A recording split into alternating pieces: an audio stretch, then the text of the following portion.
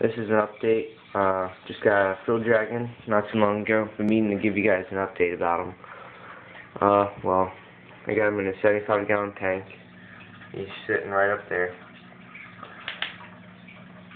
He's probably the coolest lizard that I think if you're really looking for to have a good collection, that's one of the lizards that you have to have right there.